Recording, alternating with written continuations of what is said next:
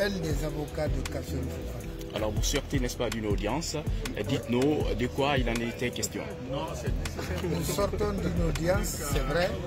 Il a été question de l'interrogatoire sur le fond. C'est-à-dire qu'aujourd'hui, le parquet devait présenter à M. Kassori Fofana les preuves des charges qu'il a mis à son compte. Très malheureusement, il n'en a rien été.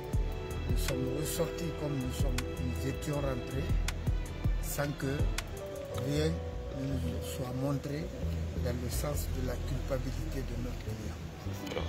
Qu'en est-il de la demande pour, par rapport à la liberté? Euh, Élaborée, nous devons la signer tout de suite et la déposer. Ensuite, on attend la réponse que le, la, la chambre spéciale va donner. Pour l'heure, il n'y a pas un délai pour ça Non, il n'y a pas de délai. C'est une appréciation souveraine. Est-ce que vous, vous êtes à moment où aucune preuve ne nous a été montrée?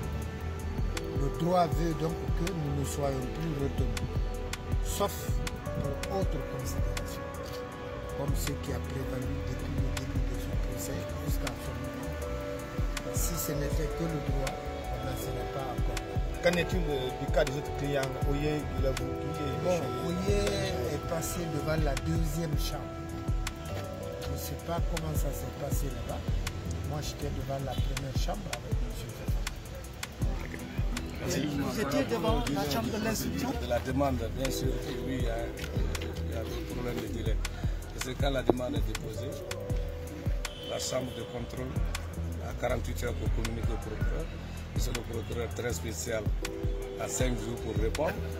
Et quand ça vient venir, minimum, ils ont 3 jours pour réagir. Donc on peut dire qu'il y a effectivement un délai. Quand, à compter de la date de dépôt, ils ont minimum 9 à 10 jours pour se prononcer, favorable ou défavorable. D'accord. C'est maître C'est ce qui peut retenir. C'est ce qui nous retient.